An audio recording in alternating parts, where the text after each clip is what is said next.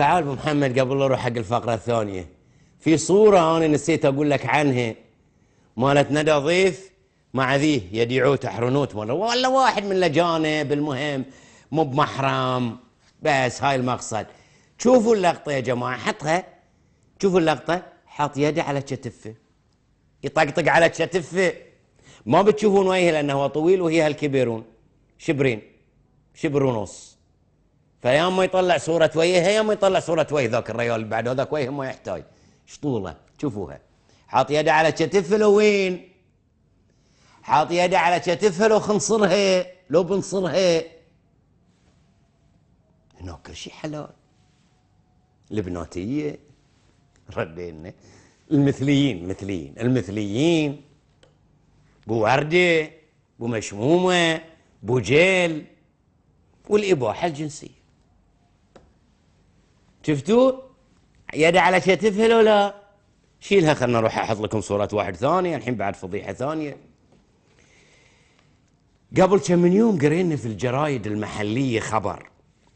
ونص الخبر يقول خلنا نلبس النظارة الثانية عشان ما نغلط.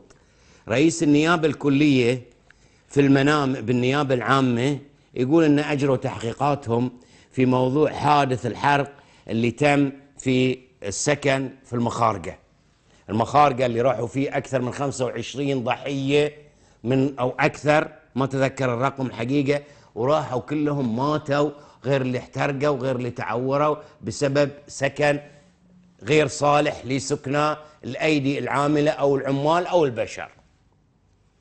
تم التحقيق فيه. ألقوا القبض على المس... بعض المسؤولين عن ال... ال... ال... هذا المبنى السكني.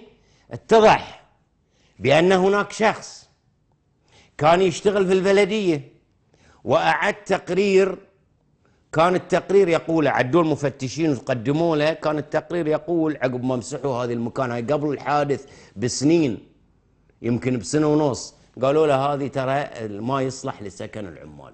قدموه لا انتبهوا حق الشخص معاي واحدة واحدة زين. خذ ذي الشخص سألوا عن الرؤساء قال أنا أعطيته المسؤول العود. قالوا له مشكور جزاك الله خير. الريال خاشة. ما قدم التقرير.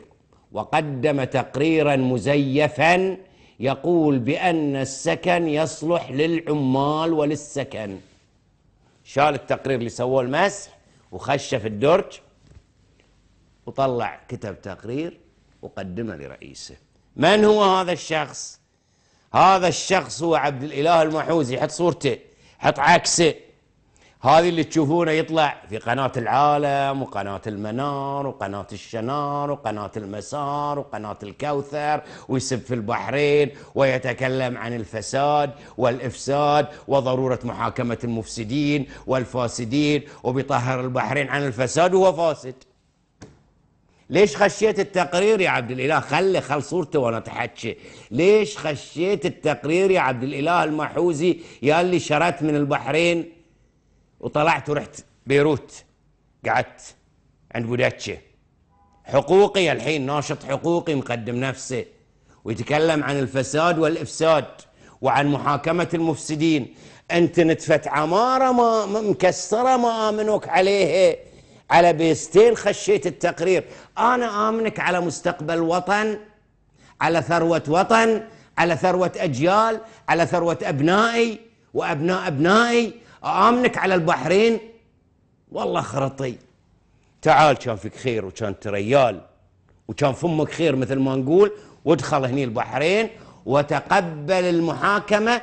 وإذا حكمت عليك المحاكمة أن أنت بريء بقول أنا في هالبرنامج أنا غلطان. وعبد الإله بريء. لكنك أنت ما بتيي. يا عبد الإله يا محوزي يا محارب الفساد في العالم وأنت أكبر المفسدين. على بيستين خشيت التقرير داخل درجك. عافية عليك. شعطوك. كم بخششوك عيال باكر أنت لو صرت لنا بعد هني وزير ومن يرب الدنيا.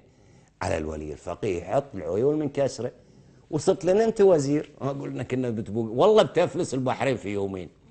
أنت من صوب وعباس بن صفوان وجوادون أقول على البحرين السلام حط لي فاصل.